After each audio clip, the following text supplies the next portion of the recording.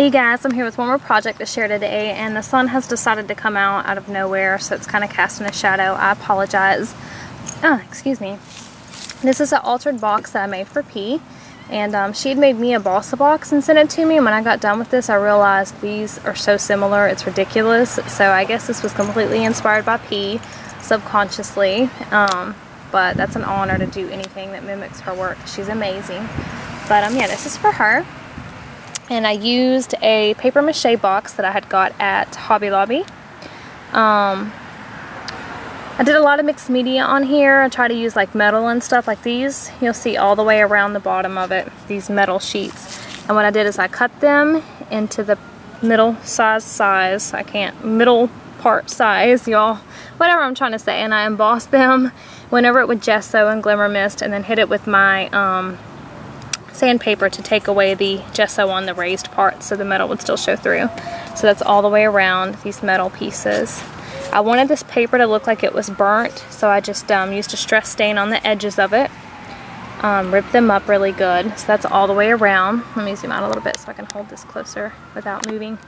Um, the feet, I had some bling pieces that I just cut in half with my um, table saw, bandsaw, whatever Chris put in my room sanded them down to make feet out of them.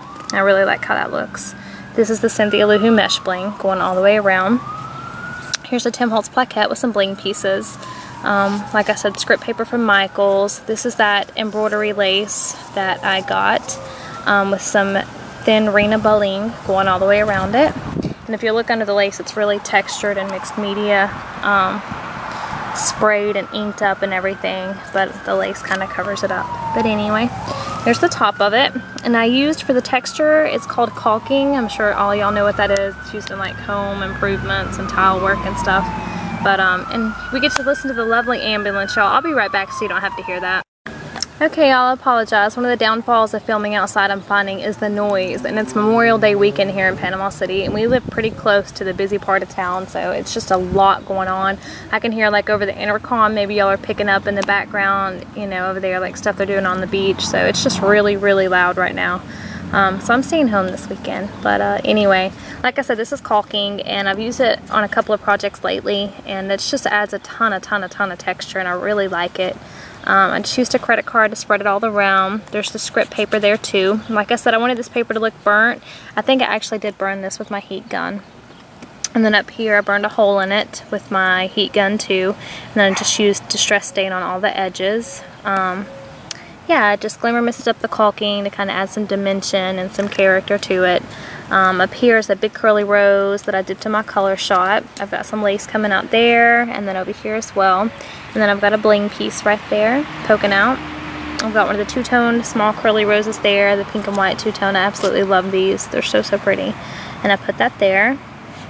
Over here, I made a little niche. I put the, I don't know if you can see, but that's the top of a Tim Holtz, Tim Holtz, Tim Holtz film strip ribbon canister right there because I wanted to be able to look down in my little niche that I was going to make. So I put a little clock piece down in there and this is just a piece of hardware I had in my stash. I don't know where it came from. But, um, and then I put the ornate plate on top.